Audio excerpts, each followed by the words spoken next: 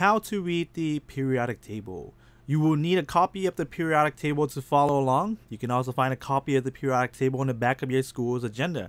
Or on Google, just search for periodic table. The periodic table is composed of many blocks. Inside the blocks are info about each element. Today we will learn the very, very basic info of each element. You can find a copy of this picture in the link in the description below. Copy the info into your notebook as we go along. If you need more time, you can pause the video. In the block of an element, first we have is the element atomic number. This number will always be a whole number and is usually located at the top of the block. Next, an element must have a symbol. In this case, we have the letter C, which is the symbol for carbon.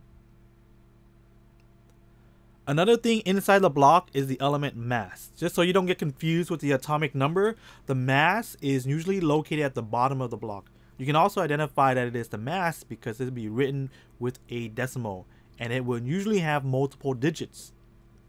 Don't worry about the other stuff, we will go over them later on.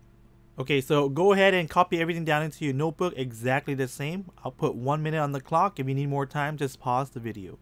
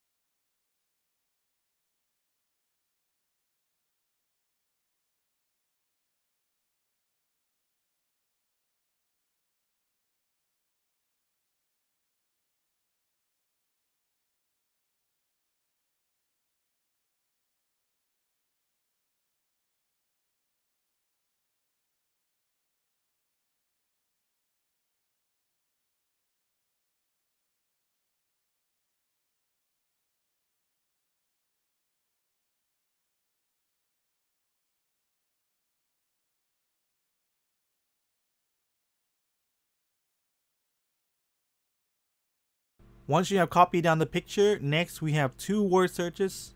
Again, you can find the word searches in the link in the description below. Print out the word search and complete them.